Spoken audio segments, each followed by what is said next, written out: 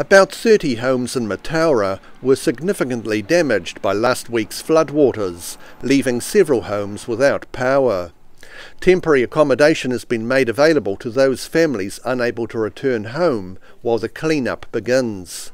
Pumping to remove water from flooded areas has started, and Civil Defence Minister Peeni Henare flew into Mataura by Air Force to see the recovery firsthand. Waters have gone down considerably from their time here.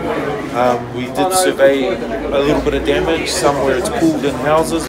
While in Southland, Henare announced the government will contribute $100,000 to the regional mayoral relief fund. The feedback that I've got from the teams down here is that everyone's safe and that was the first priority. Now we've got to look to what recovery looks like. The entourage of dignitaries and officials also viewed the Mataura River. While all state highways closed by flooding have reopened, many smaller council roads remain closed or have restrictions in place. A boil water notice has been issued for Gore, Mataura and the Otama water supply scheme and is unlikely to be lifted this week.